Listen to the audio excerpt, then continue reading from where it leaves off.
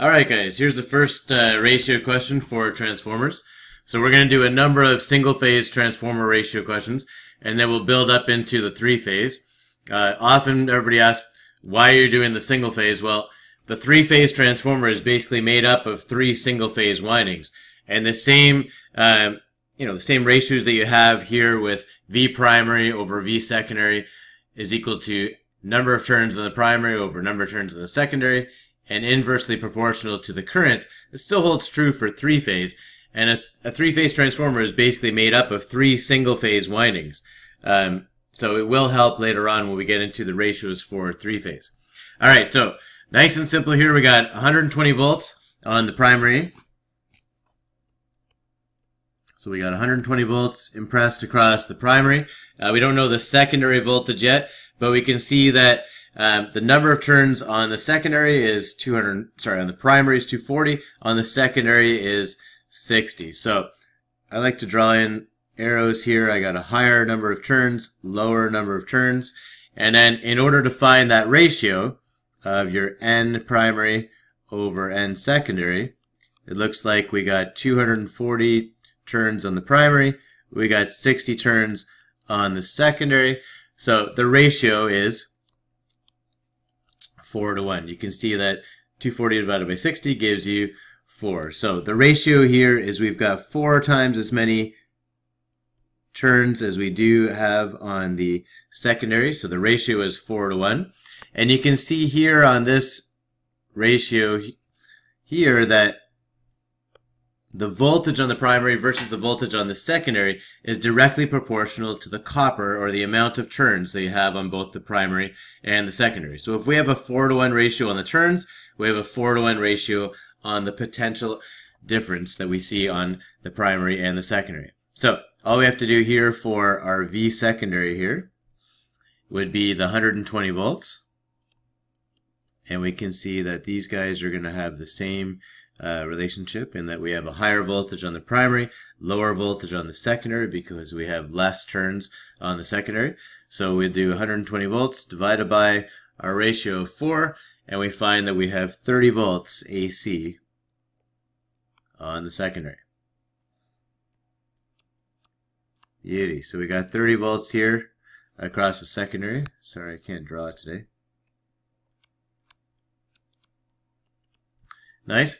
So now we got our voltage on the, the secondary. And now what we need to do is find our current on the secondary. So uh, the impedance here is 5 ohms. And at this point, we just have straight Ohm's law. We have 30 volts being impressed across a load that has an impedance of 5 ohms. 30 divided by the 5 gives us 6 amps on the secondary. So in here we've got 6 amps flowing on that conductor and we can drop in the fact that we have 6 amps on the secondary there. Now the the primary voltage, secondary voltage versus um, primary current, secondary current, they're the inverse of each other. That's because you need to have VA in, so power in is supposed to be equal to power out. Right? We have V primary times I primary equal to V secondary times I secondary. There's minor losses with magnetic fields and sound and heat, but essentially we're just going to say the power in is equal to power out for any of these questions. Beauty. So now we can look at our currents and we can see that in order for the power to be the same, this will be a higher current and this will be a lower current.